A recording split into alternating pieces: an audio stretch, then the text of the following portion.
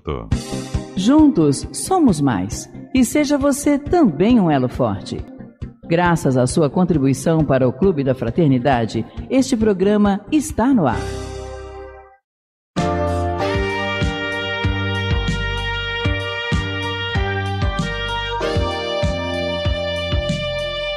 Ouvindo você. Programa destinado a quem precisa de orientação e apoio espiritual. Ligue e participe se você precisa de uma palavra de esclarecimento espiritual. Apresentação: Valdenir Cruz. Bem, queridos amigos, queridos ouvintes, estamos mais uma vez entrando no ar com o nosso programa ouvindo você. Estivemos aí duas semanas ausentes, né, final de ano, início de ano, um pouquinho de férias, né? A gente também precisa dar uma descansada e estamos voltando hoje com a nossa rotina, com as nossas tarefas, hoje ao vivo. Agradecendo muito a participação de vocês, mesmo nas, nos programas gravados que fizemos, contamos muito com a participação de muitos ouvintes, pessoas é, comentando, pedindo explicação, sugerindo, o que a gente agradece sempre. E continuamos a pedir que você continue fazendo isso. Nosso número é 3386-1400 para, o, para o telefone fixo e para o aplicativo do WhatsApp 98486-7633. Você pode participar conosco, pode, eu diria deve participar conosco, até Por porque, favor. é, até porque se você não participar não tem programa, então nós precisamos de você para nos mantermos no ar. Estamos nas redes sociais, em todas as redes sociais, e agora já estamos ao vivo pelo Facebook. Basta você entrar lá e participar conosco. Como já tem algumas pessoas participando agora conosco ao vivo, já vendo aqui a nossa convidada, que está aqui à minha esquerda, a nossa amiga Júlia Tourinho, que vai conversar um pouco conosco exatamente sobre rotinas. né? Como é que é ou como é que são as nossas rotinas? Quais foram as nossas metas? Fizemos metas? Não fizemos? Fizemos objetivos? Traçamos objetivos? Não traçamos? Cumprimos? Não cumprimos? Acho que é isso que a Júlia vai falar. Eu não conversei com ela antes, não, mas eu acho que é isso. Então vamos conversar um pouco com a Júlia e quando ela me permitir, eu dou um pitaco ali Claro, na, sempre na fala dela também. Júlia, obrigado pela Já sua disseram que a participação. gente faz uma excelente dupla. Pois então, é, é. Tô faz- contando é. com isso. Então vamos lá, fazer a nossa dupla caipira aqui. Será que a gente consegue fazer sucesso? Júlia e Valdenir nas é, paradas de Valdenir, sucesso? é. Oi, gente. Primeiro eu queria dizer para vocês curtirem, compartilharem, porque isso é muito importante para a divulgação da rádio, para isso que a gente está falando, para as coisas boas serem divulgadas, né? A gente tem tantas notícias ruins o tempo todo. Então vamos compartilhar a corrente das boas notícias, né? Vamos espalhar coisas boas. É, e a segunda coisa é que bom que eu estava aqui no último programa do ano, tô aqui no primeiro programa do ano, Ah, tô que me bom, né? sentindo super feliz de estar aqui. Quem acompanha esse programa sabe que é algo que é, que é muito. é, faz parte da minha rotina. Eu me sinto muito feliz de estar aqui. Então, eu queria agradecer a todos vocês que estão ouvindo agora, que vão ouvir depois, que vão ouvir na madrugada, que vão compartilhar depois. E aí eu fui convidada para falar sobre metas, né? Afinal de contas, a gente está começando o ano. E aí eu fui lá pegar o meu livrinho da Joana de Ângeles, que é, fala uma coisa muito bacana sobre. Dá o nome do livrinho, porque as Vou pessoas dar, vão dar. ficar perguntando. Vou, vou dar. É um, um livrinho que fala uma coisa muito bacana sobre rotina. Por isso que quando eu cheguei aqui, eu, eu me perguntaram, e aí, como é que a gente vai falar? Ela falou sobre metas e rotina. Então, o livro, vou mostrar aqui para quem está vendo no Facebook, é o livro Homem Integral, né, da Joana de Ângeles. E aí, é, eu tava lendo e eu fui lá olhar quando ele foi editado. Eu não, não sei se essa é a primeira edição, mas é de 1990, né? Eu tinha, vou falar, eu tinha 10 anos, vou falar. e aí, eu fico pensando quanto isso é atual, É. né? Continua sendo muito atual. Contemporâneo, né? Nossa. É. E aí tem uma frasezinha que eu queria ler aqui para vocês pra gente abrir com chave de ouro. Ela fala assim sobre as questões das metas, então ele diz, ela diz que nós, humanos, né, os homens, é, ele não tá falando do homem no sentido masculino, né? Gênero, né? Ele está falando do homem enquanto humanidade. Ela fala assim: o homem estabelece poucas metas que conquista com relativa facilidade, passando a existência rotineira e neurotizante, que culmina por matar-lhes o entusiasmo de viver, os estímulos para enfrentar novos desafios. A rotina é como uma ferrugem na engrenagem da preciosa maquinaria que corrói e arrebenta. Disfarçada como segurança, emperra o carro do progresso social e automatiza a mente, que cede o campo do raciocínio, ah, eu adoro isso que ela fala, aos ao mesmismo cansador.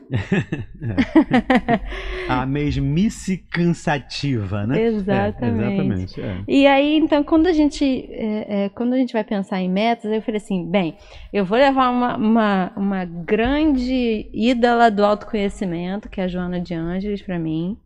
É, mais, de- mais do, que, do que ser uma escritora espírita, ela para mim é uma. eu- todas as vezes que eu leio um texto da Joana, cada vez que eu leio, eu vou crescendo, né? Enquanto pessoa, eu leio e eu falo, nossa, eu li isso aqui antes mesmo, estava escrito aqui mesmo. Cada vez é uma novidade. Então, é, eu sabia que eu ia encontrar alguma coisa aqui nesse livro que a minha intuição falou, eu fui lá e achei mesmo. E é isso. Então eu falei, eu pensei assim, bem, vou levar a Joana para a gente não ficar achando que fazer metas é uma besteira. Não. É importante a gente não cair na rotina. Por quê? A gente acha que se a gente tem uma rotina, que depois ela fala, né, das conquistas materiais. Então a gente acredita que a segurança vem através das conquistas materiais. E aí então a gente para ali, né? A gente Sim. passa a ter uma vida, como ela fala, esse mesmismo cansador. Essa coisa que a gente vai repetindo todo dia. Isso mata o nosso entusiasmo e mata a nossa alegria de viver. Por quê?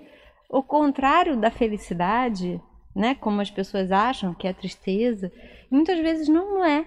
O contrário da felicidade é a falta de entusiasmo, a rotina, fazer tudo. Se pensa só, todas as vezes em que veio algo, principalmente quando você planejou algo, tem um, dá um medo, né? Toda vez que a gente vai para alguma coisa nova, dá um medo. Mas cada vez que você vai, você vai ganhando mais segurança.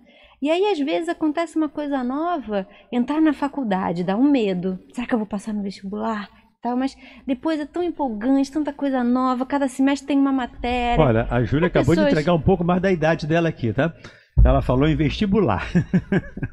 Já, di- já disse quantos anos Já eu tinha em disse. 1990, já entreguei tudo, não tem mais jeito não, gente.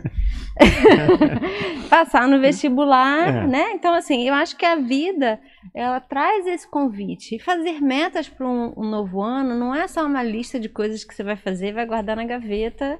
É algo que Ou você... coisas materiais que você precisa conquistar durante aquele ano, né? Sim, as coisas materiais elas são importantes, mas se a gente acha que a vida é só a gente conquistar coisas materiais, a gente não vai crescer enquanto pessoa. E não é isso que a gente veio fa- fazer aqui. A gente veio se tornar um ser humano cada vez melhor. Essa é a, no- essa é a grande meta Uhum, uhum. né?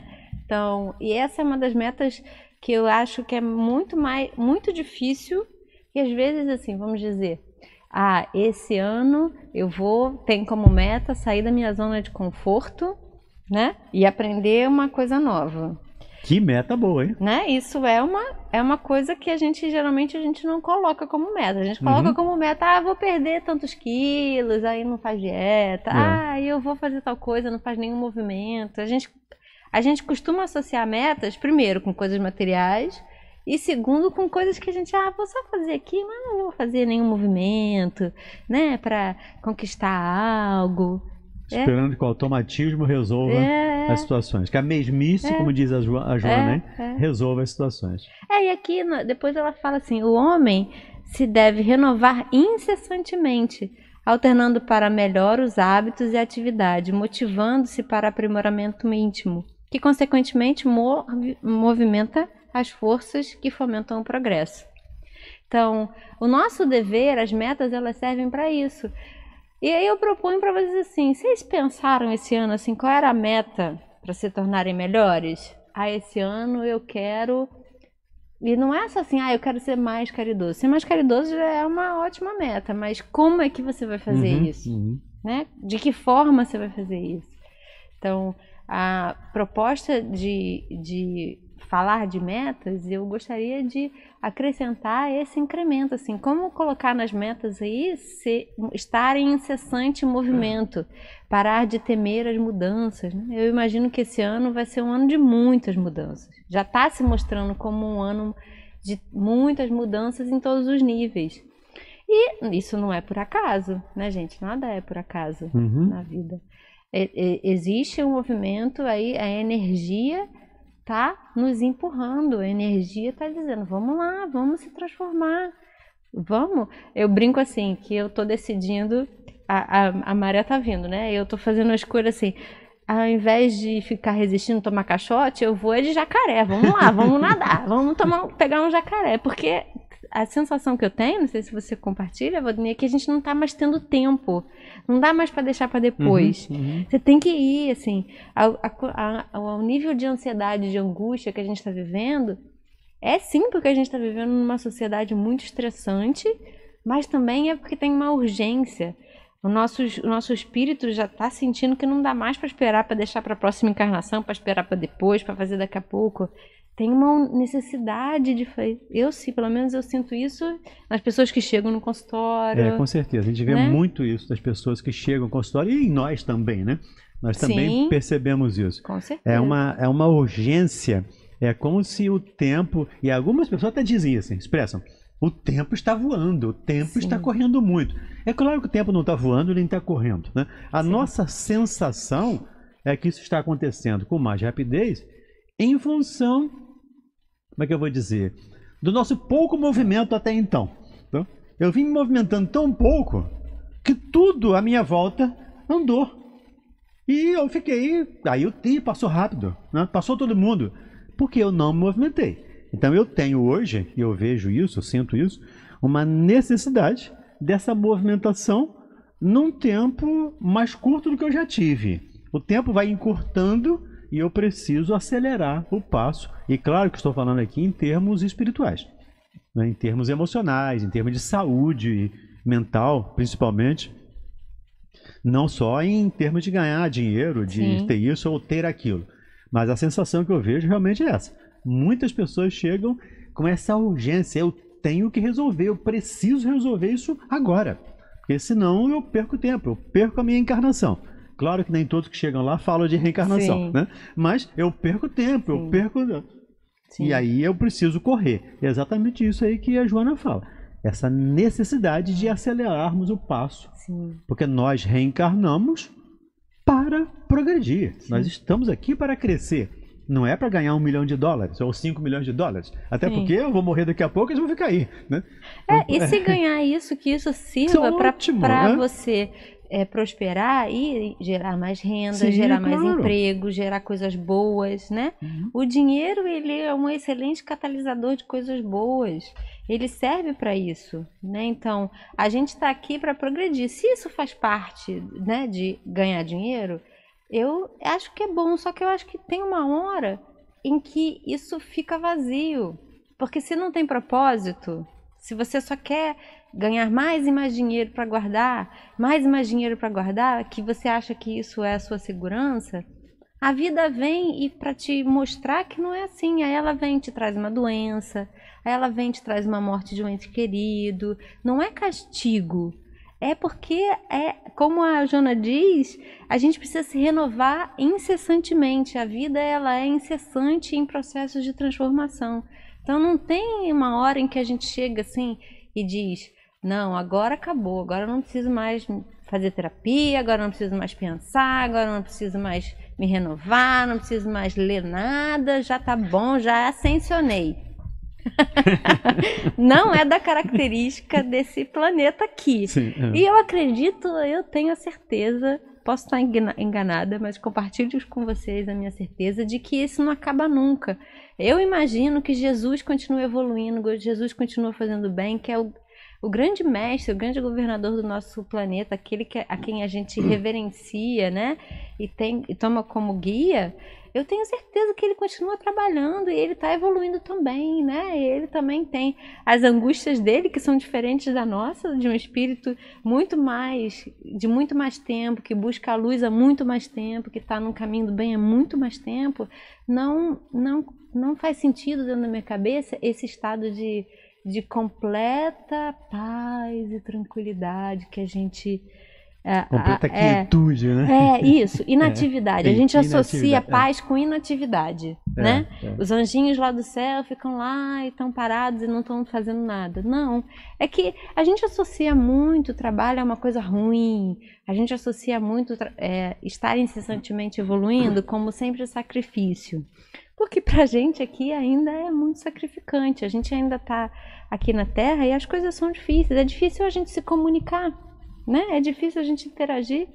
Imagina fazer o bem o tempo todo, né? Não ser 100% transparente, dizer tudo que pensa, né? São as nossas dificuldades, elas são muito sutis, que os espíritos que já estão em um lugar onde é, todo mundo sabe o que todo mundo pensa. Né? Eu fico pensando, sempre penso nisso. É, como... Vou chegar lá, todo mundo vai ver meu pensamento. Todo né? mundo sabe o que eu estou pensando, eu não escondo nada do que eu estou pensando, o que eu penso é totalmente aceito e é, é conversado, né? Porque está todo mundo desejando bem, né? Então, existem as adversidades, existem as, as conquistas, eu, pelo menos, eu acredito que não acredito nesse estado de perfeição é, linear, né? De é claro, um estado é. onde você vai parar e pronto. E tem, tem dois aspectos que você abordou que eu acho que eu compartilho com eles plenamente. Né? O primeiro, é, Jesus está progredindo. Claro. claro. Ele não é Deus. Né? Sim. Perfeito só Deus. Sim.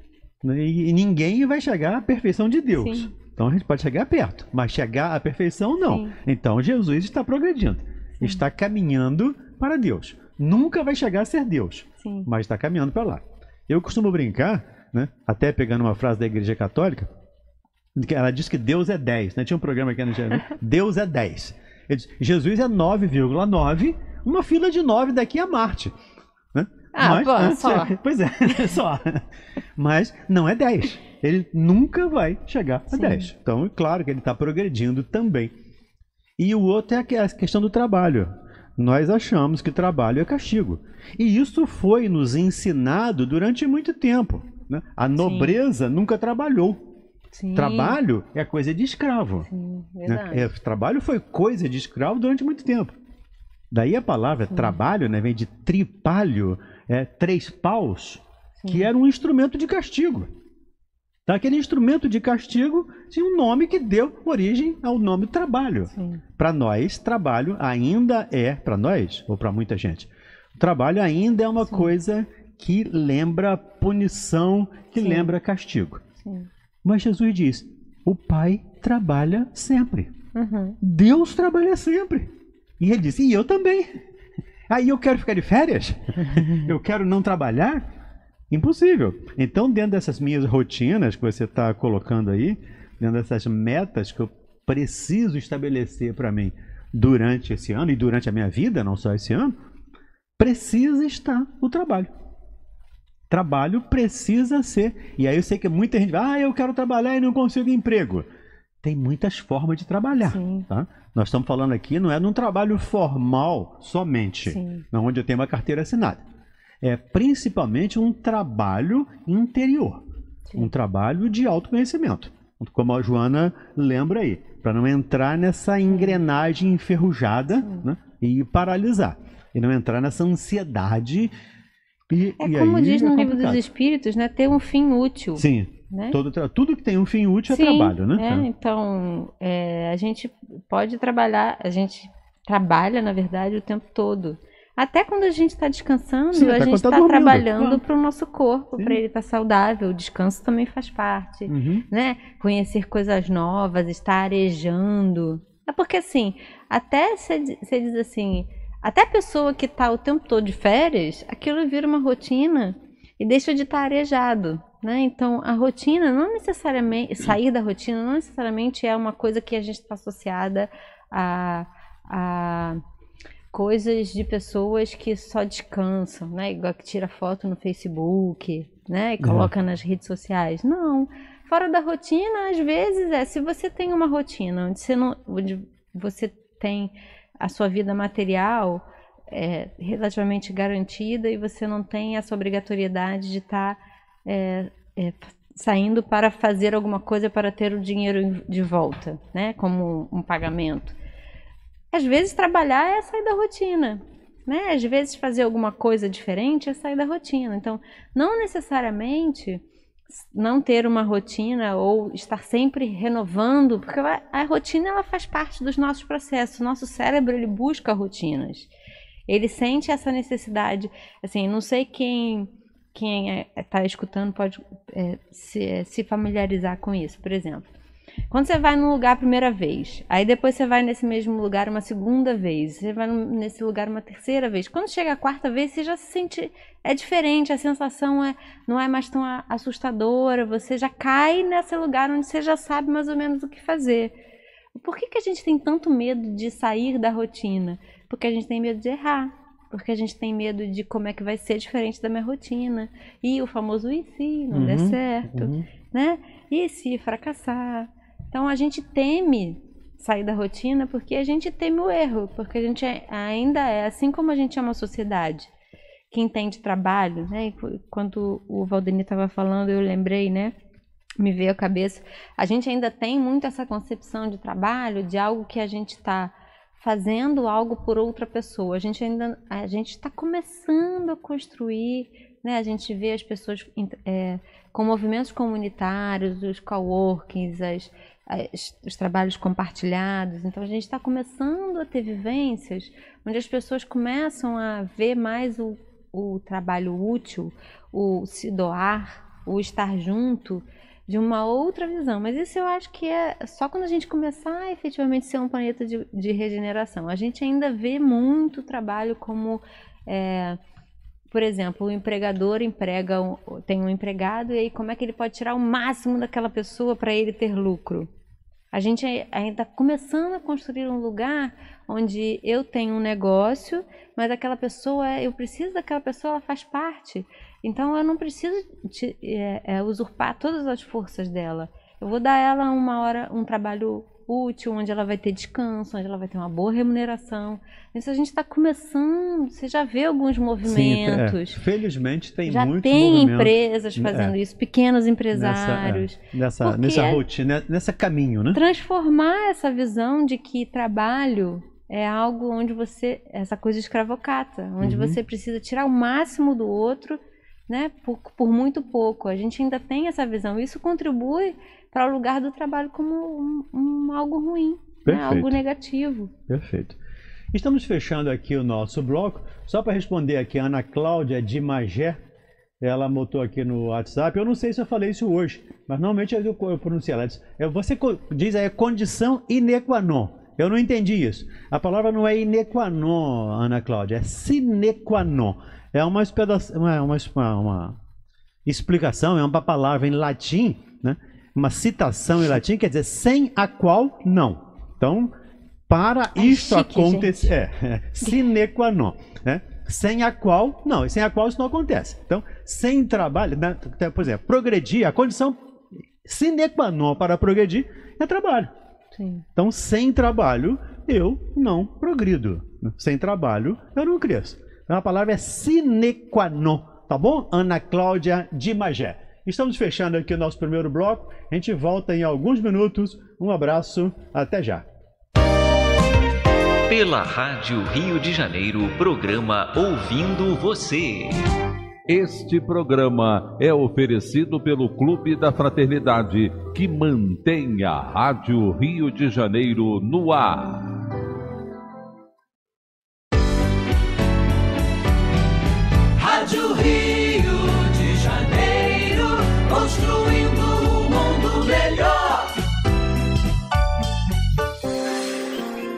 Se você é participante do Clube da Fraternidade da Rádio Rio de Janeiro e não receber o boleto bancário até o dia 10 de cada mês para realizar a sua contribuição mensal, entre em contato conosco para que possamos enviar uma segunda via do boleto. Para isso, ligue 0 Operadora 21 33861422 ou envie mensagem para o e-mail clube da fraternidade arroba rádio Rio de Janeiro ponto am ponto br. Lembre-se, não recebendo o boleto bancário, entre em contato para emitirmos a segunda via do boleto e continuarmos juntos na, na família, família Rádio Rio de Janeiro. O ano de 2019 já está chegando cheio de novidades aqui na Rádio Rio de Janeiro. Agora o Conduta Espírita se chama O Estudo das Obras de André Luiz e passa a ser transmitido às 11 da manhã, de segunda a sexta. E o melhor, você vai poder ouvir Deusa Nogueira e Berenice Lima quando quiser. Basta acessar o nosso site www.radioriodejaneiro.am.br. Anotou? Então, marca no relógio. De segunda a sexta, você tem o um encontro marcado com Berenice Lima e Deusa Nogueira na emissora da Fraternidade às 11 horas. Até lá! Estamos nas redes sociais. Diariamente, do meio-dia às 5 da tarde, transmitimos diversos programas ao vivo pelo Facebook. Você pode acompanhar curtindo, comentando e compartilhando cada vídeo para que mais e mais pessoas tomem conhecimento da rádio que toda a família pode ouvir. Todos esses vídeos estão disponíveis em nosso canal no YouTube. Visite nosso site e conheça melhor a nossa programação. Rádio Rio de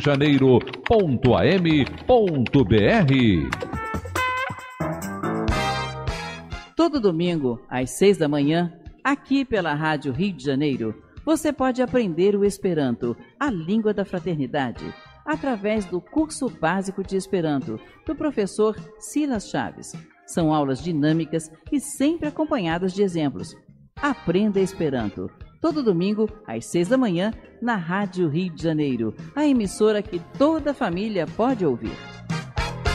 A Rádio Rio de Janeiro está inovando e o Clube da Fraternidade também. Não fique de fora dessa. Ouça toda sexta-feira, meio-dia, tem Clube da Fraternidade, com reprise aos domingos, 11h30 da manhã. Eventos, descontos, benefícios e a prestação de contas que nós, a emissora da Fraternidade, temos com você. Clube, Clube da, Fraternidade, Fraternidade, Rádio Rio de Janeiro e você, juntos por um mundo melhor. ZYJ 462, Rádio Rio de Janeiro, 1400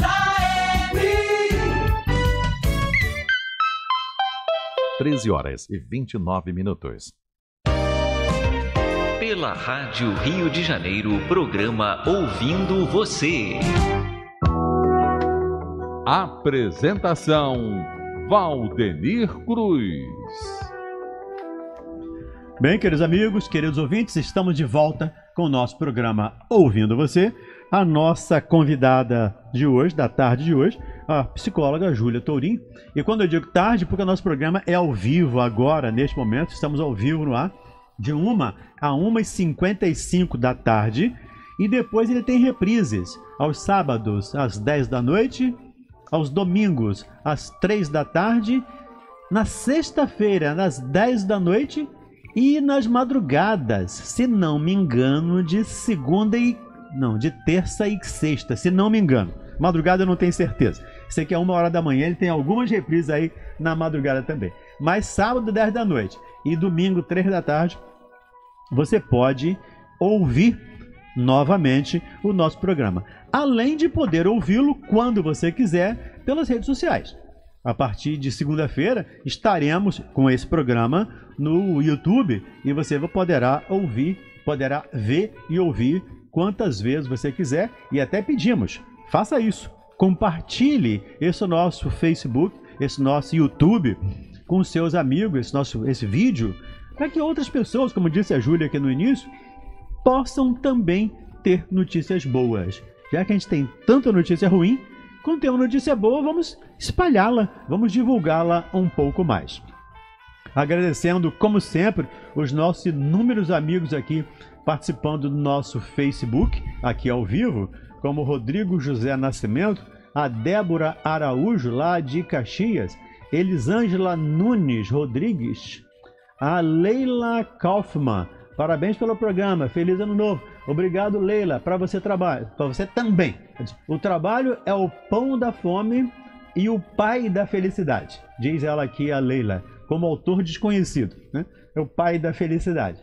A Miriam Zanoni, obrigado pela participação. Selma Renata, Ana Maria Ramos, Ivete de Azevedo. Não existe um lado bom na rotina? A gente vai comentar depois disso aqui, Ivete. Mais à frente a gente vai comentar um pouco isso aqui também. A Irani Fardilha participando conosco, obrigado. Marinela Silaruelo, Sileruelo, lá de Buenos Aires. Obrigado, Marianela, por participar conosco. A Cíntia Carucci, Carucci, lá de Ribeirão Preto.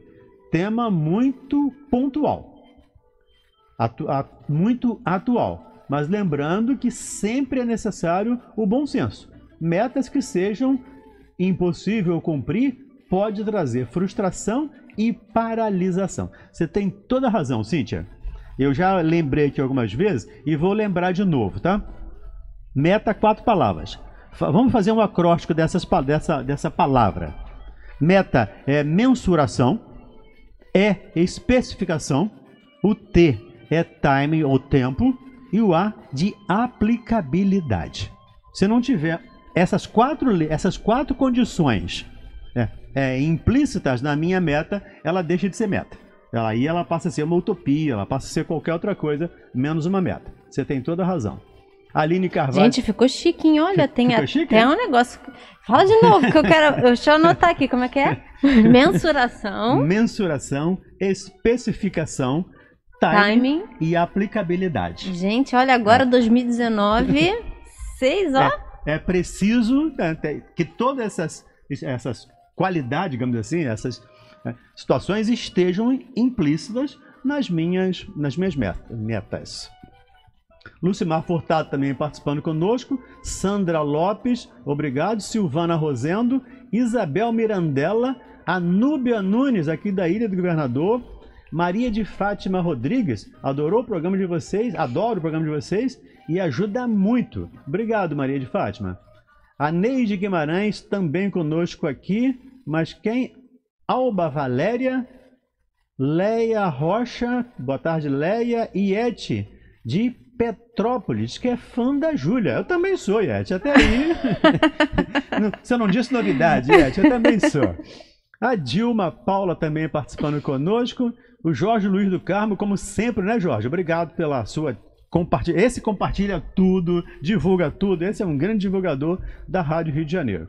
O Edivaldo Leite, Noélia Pereira, Flávia da Silva, a Flavita, Sônia Martins, Valdelânia Verli, Dilma Paula, Cirlei Santos e quanta gente mais participando conosco. Tem tanta gente aqui, mas nós vamos voltar aqui então para, nossa, para as nossas conversas e vamos falar, já que eu prometi aqui, vamos falar da. Responder a Iete lá de Petrópolis Sim. e mais as que pessoas... ela perguntou no Sim. Facebook, perguntou no, no é, WhatsApp. É, ela, ela quer. As duas, as duas. Vamos começar por ela.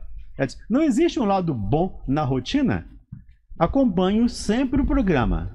Sou fã de Júlia. Meu nome é Iete, lá de Petrópolis. Um abraço, Iete. Júlia, existe um lado bom da rotina?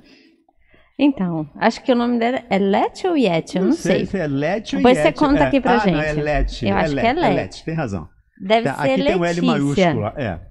Depois você ser. conta pra gente.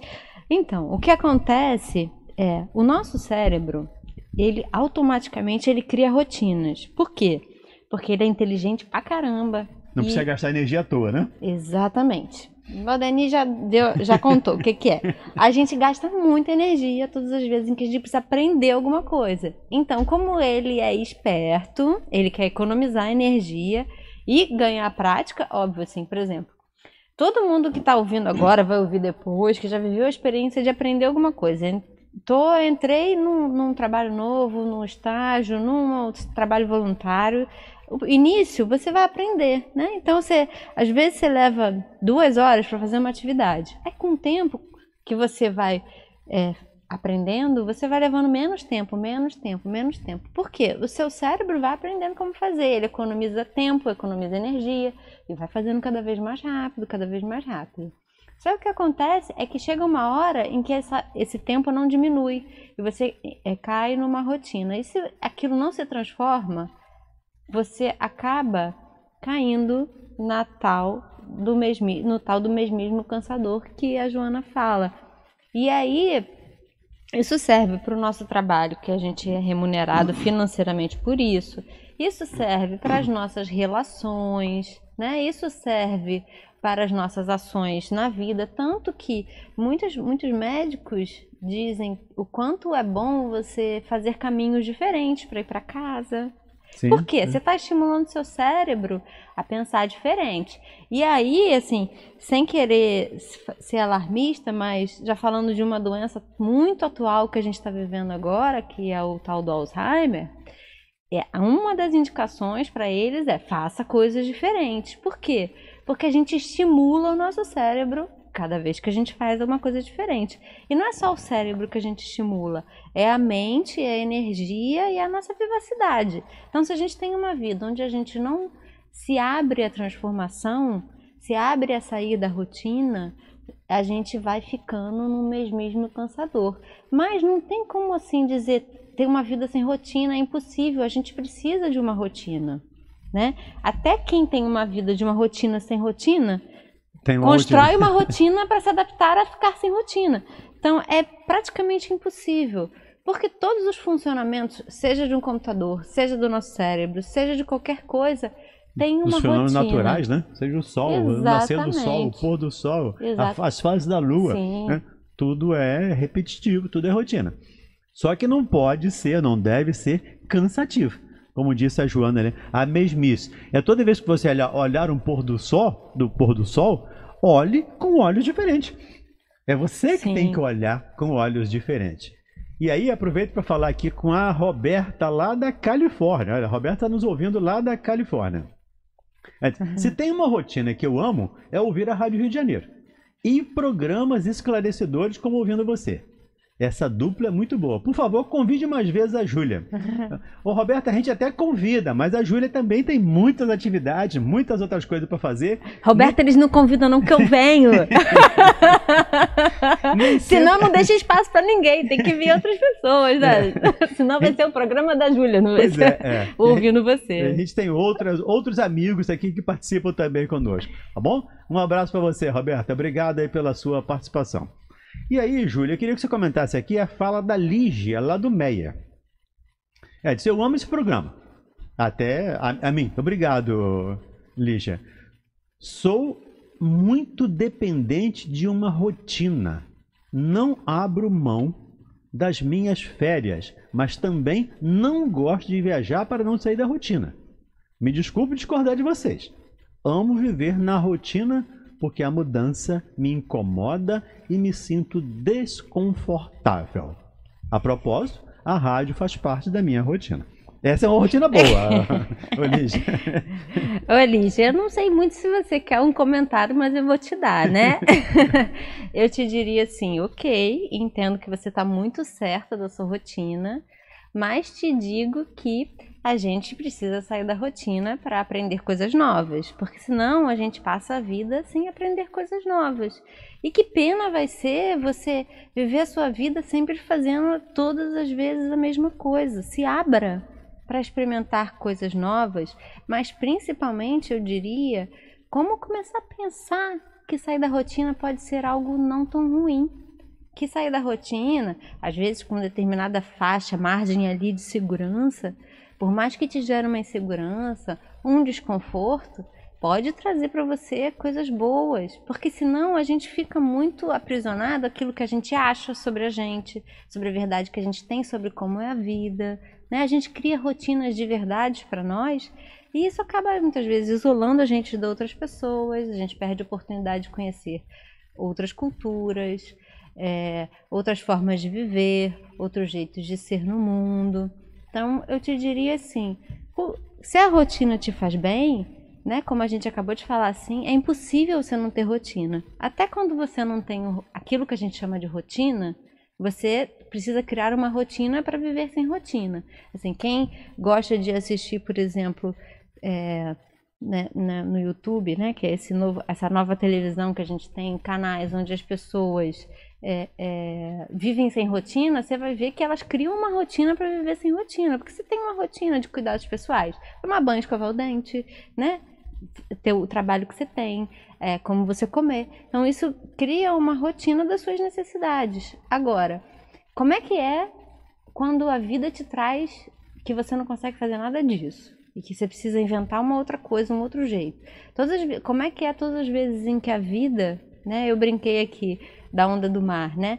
Como é que é todas as vezes em que a on- a onda vem, né? Você na- nada e pega um jacaré ou você fica parado e toma um caixote, né?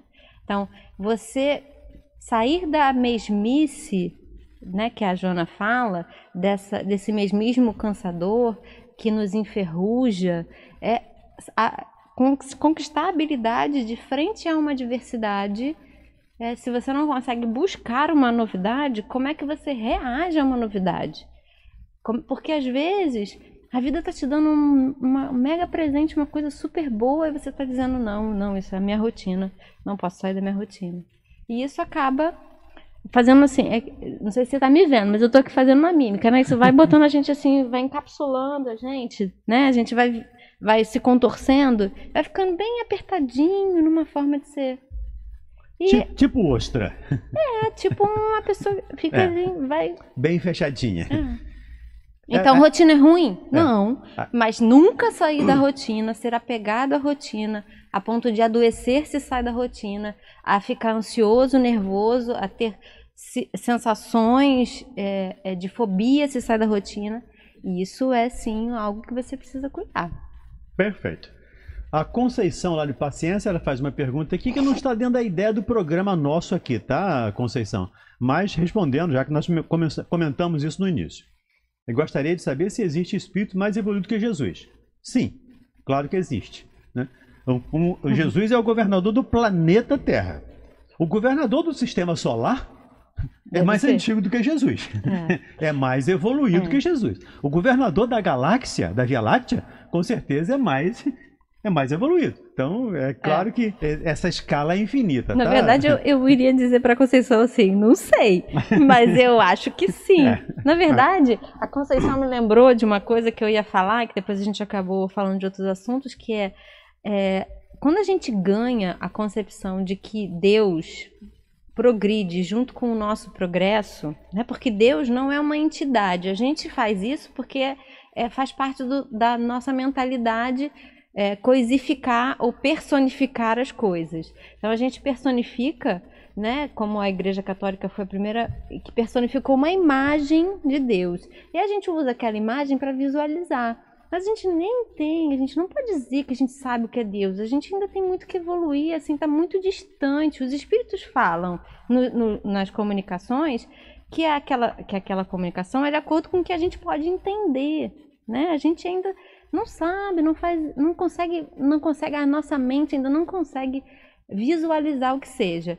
Mas eu acredito, para mim faz sentido quando eu penso que assim, quando eu progrido, quando eu quero é, é, o meu, o meu bem-estar físico, moral, emocional, quando eu encaro as dificuldades com mais leveza, quando eu consigo conviver com as pessoas ao meu redor com mais tranquilidade, quando eu não fico tão ansiosa com relação a dinheiro ou, ou, ou a garantia da vida, quando eu confio na vida, eu sinto que eu progrido e eu sinto que isso também é, Deus está progredindo junto, né? Nós somos uma coletividade, nós somos parte de um conjunto maior que evolui junto. Né? É, e só- precisamos evoluir para fazer o planeta melhorar. Perfeito. Só para a gente ficar, fechar esse tema, Conceição, nós somos seres ilimitados, limitados. Não podemos entender o ilimitado. Sim, certamente. Né? Deus é a, é a inteligência suprema do universo. Uma inteligência limitada não pode entender uma inteligência ilimitada. A Tá gente bom, não tem essa Conceição? habilidade. É, um grande abraço para você. Pedro Luiz Dalla Valqueire, ouvindo e gostando do programa. Obrigado, Pedro Luiz. A Ainalda lá da Penha. Sou espírita, mas sempre fui uma pessoa vaquinha de presépio. Ela que colocou aqui, tá? Resolvi mudar um pouco mas ainda engulo muitas coisas para evitar problemas. Essa semana desabafei algumas coisas sem agressividade e sem choro. Gostaria bom. de saber se estou no caminho certo. Tá. Estou melhorando? Sim. Ou o espírita tem que engolir tudo? Não. Já respondi. Sim, respondeu tudo. Está melhorando, não tem que engolir tudo, tem que falar sim e não precisa sofrer, não precisa chorar quando você for Sim, se colocar. sim. Eu não concordo com isso. Respeito você, mas não concordo. Não É, gosto. a, é, a Inalda fala- descreveu muito bem. Se você conseguir falar, olha, não tô gostando, sem precisar gritar, sem precisar agredir o outro, porque o que a gente, a gente isso é, o que a Inalda tá falando, é um aprendizado social, né? A gente aprende determinados comandos que a gente precisa fazer, né? Que a gente não pode contrariar isso, isso, isso, isso, né? Não vou entrar nesse assunto aqui, mas é, para não ficar mais polêmico. Mas assim, sim, a gente precisa aprender a ter suavidade. Uma coisa que eu aprendi, que talvez possa ajudar, Reinaldo, é que assim, quando a gente aprende a colocar limites seguros e tranquilos, o que, que significa isso? Eu posso dizer, olha, aqui eu não quero, aqui eu não vou, aqui ou assim, aqui eu quero. E isso não nos perturba. A gente consegue, isso sim faz parte do processo de evolução. Fico muito feliz com essa sua conquista. Continue. É, precisa continuar. Não, pode, não podemos parar nunca. Nesse progresso é contínuo. Aqui, mas quem aqui? Rosa de Realengo. Fui criada na igreja católica, mas hoje sou espírita. Sempre tive uma tendência suicida. Faço tratamento com psiquiatra. Mas sou uma pessoa muito alegre. Gostaria de saber se eu trouxe isso de outras vidas. O que, que você pode dizer para Rosa? Eu digo pra Rosa assim, Rosa, quando é que a gente não traz coisas de outra vida? É, é. Quando a gente é um espírito. Então, assim, todas as nossas dificuldades hoje, provavelmente a gente trouxe de uma outra encarnação também, e da outra, da outra, da outra, da outra, porque é um contínuo, sabe? É como se fosse assim, os nossos dias ou os nossos anos nessa vida aqui. Como se fosse uma metáfora. As nossas encarnações, elas também são para o nosso progresso. Então, a cada encarnação, os nossos guias espirituais torcem pra caramba, os espíritos superiores torcem pra caramba para que a gente saia melhor. Né? E sair melhor, e as metas, que é o tema de hoje, é meta de ascensão pessoal. Assim, todas as vezes em que a gente tem um insight sobre nós mesmos, como a nossa companheira aqui compartilhou com a gente, o avanço, um avanço pequeno, ela, mas ela está se iluminando, né? Cada vez que a gente consegue enxergar um pouco das nossas dificuldades e ir em caminho da luz, a gente está se iluminando um pouco. Então, o, o progresso é assim também. Então, na, na encarnação, se essa se a gente sair dessa encarnação um pouco melhor, a gente está dando, dando o caminho. Alguns passos. Cada caminho. Então, assim, o que você está dizendo é: eu sinto uma tristeza que eu não consigo explicar nessa encarnação, né? Aí eu acho que é o que você está querendo dizer. E eu, tô, eu digo para você: ainda assim, todas as chaves estão aí dentro de você. Então, continua buscando dentro de você que uma hora, mesmo que se você não conseguir entender tudo nessa encarnação, você já vai conseguir sair dessa encarnação um pouquinho, né, mais transformada, um pouquinho, cada pouquinho é um pocãozão, gente. É. Não, não é um pouquinho de, ah, deveria ser mais, não. Cada conquista nossa, eh, para o nosso autoconhecimento, deve ser muito celebrada, porque isso é muito mais difícil do que qualquer conquista material. Perfeito. O Luiz Paulo, lá da Penha Circular, pede para gente repetir a frase aqui da Leila Kaufmann. Ela diz aqui, o Luiz Paulo, autor desconhecido, o trabalho é o pão da fome e o pai da felicidade. Ela coloquei, colocou aqui como autor desconhecido, tá bom? Um grande abraço para você. E mais quem aqui que faz perguntas? Tem muitas perguntas aqui, gente. Hoje, infelizmente, tem milhares aqui de perguntas a gente não vai conseguir responder tudo. A nossa amiga Ana Cláudia, lá de Magé, aquela do sine qua non, disse que ela ouviu essa frase num programa anterior que eu falei aqui. Ok, Ana, explicado aí. A Eledi lá do Engenho de Dentro, Engenho Novo, é, parabéns pelo programa, feliz ano novo, um abraço para Júlia Tourinho. Então, um abraço aqui Muito obrigada, para Júlia Tourinho, Eledi. Eledi. A Roberta da Califórnia, que já participou conosco, voltou aqui para agradecer. Mas quem aqui é Silvana Leal Maiata, de Cascadura. Mas não seria importante ter o hábito, por conseguinte, a rotina, ir à casa espírita, por exemplo, orar todo dia? A, Sueli, a Silvana Leal Marata, lá de Cascadura. Acho que você já explicou. Sim, mas é, eu, é. eu queria dizer. É, É Silvana. Silvana, que é- Aliás, Silvina, desculpa, Silvina. o hábito, ele. a- Construir um novo, um novo hábito faz parte de sair da rotina. Rotina e hábito são coisas diferentes, Uhum, né? uhum. Rotina é ter sempre os mesmos hábitos. Às vezes, você pode ter um ir à casa espírita, orar todo dia, é um hábito excelente. Mas se você faz isso de forma mecânica, né? Se você reza sempre a mesma prece, você não está nem prestando atenção no que você está rezando. Se você vai na casa espírita, não está prestando nem atenção no que o palestrante está falando. Se você está dando passe, não está nem prestando atenção no que você está fazendo. Isso é uma rotina degradante, porque a gente precisa estar em constante movimento. A gente pode estar fazendo as mesmas coisas, mas estar na presença. Porque estar na presença é estar em transformação. O que nos engessa, nos enferruja, é quando a gente começa a fazer tão automático que a gente já nem percebe mais. Quem já não que dirige carro, que faz coisas, já não pensa, gente, como é que eu fui, como é que eu fiz isso? Como é que eu parei aqui? Né? Porque a mente caiu numa a- a- o hábito caiu numa rotina e a mente já foi para outro lugar. Então, como a par- fazer parte da transformação é estar na presença. Não, se- não fazer sempre a mesma coisa sem reflexão sobre a validade. Eu sempre me lembro do Kardec, no prefácio do que é o Espiritismo, ele sempre fala: questionem, questionem sempre. Eles- e isso é um grande aprendizado para mim, quando eu li, é que é sempre estejam se renovando, sempre estejam se questionando.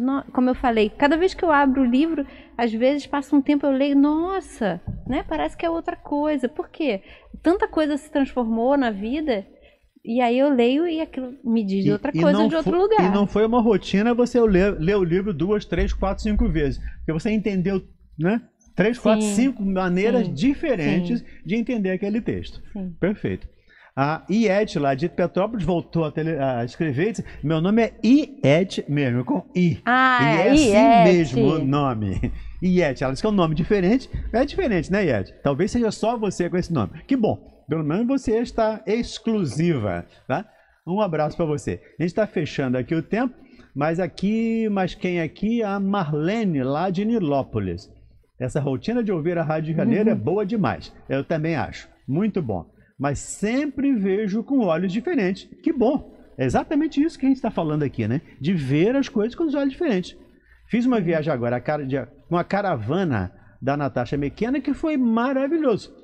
Ouvir a Natasha já é muito maravilhoso, né, Marlene? E estar convivendo com ela e ouvindo-a todo dia, com toda certeza, muito bom. Melhor ainda. Né? Quem mais aqui? A grata, assim, a, Sil- a Silvina. Grata, Júlia, pela, pela resposta que ela acabou de dar.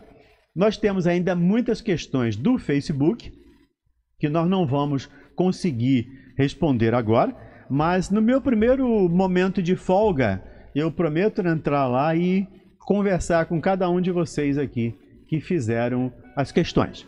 Nós estamos fechando aqui o nosso tempo, agradecendo mais uma vez a participação da Júlia aqui, que é sempre muito enriquecedora para gente. Muito bom dividir com ela esse espaço aqui. Ao Cláudio e ao Caio ali na técnica, obrigado. A Sheilinha no telefone, obrigado, Sheilinha, um grande abraço. E a você que está do outro lado. Muito obrigado e até o nosso próximo encontro, se Deus quiser. A Rádio Rio de Janeiro apresentou. Programa Ouvindo Você. Rádio